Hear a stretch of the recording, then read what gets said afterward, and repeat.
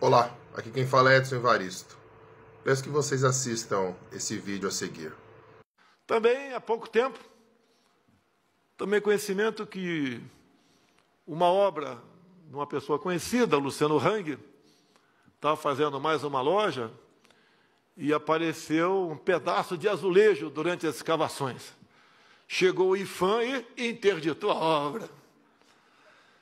Aí, liguei para o ministro da pasta, né? Que trem é esse? Né? Que eu não sou tão inteligente como meus ministros. O que, que é IFAM? Um PH. Né? Explicaram para mim, tomei conhecimento, ripei todo mundo IFAM. Botei outro cara lá. O IFAM não é mais, não dá mais dor de cabeça para gente.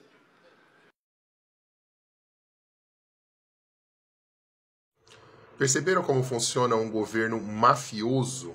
Um governo formado por gente com mentalidade bandida?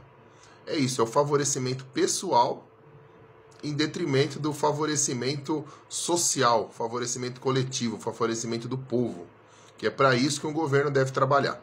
Mas é claro que a gente não deve esperar isso de um desgoverno como o de Bolsonaro.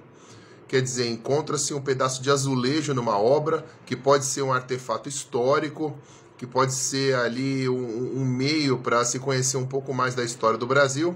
Mas o que, que o imbecil que colocaram na presidência faz?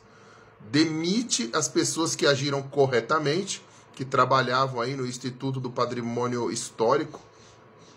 Demitem essas pessoas para que a obra continuasse. A obra do amiguinho dele, né? Outro imbecil aí.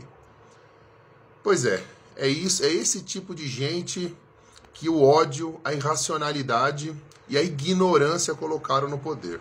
A gente precisa rever isso. Ainda dá tempo de rever isso para a gente poder salvar o Brasil.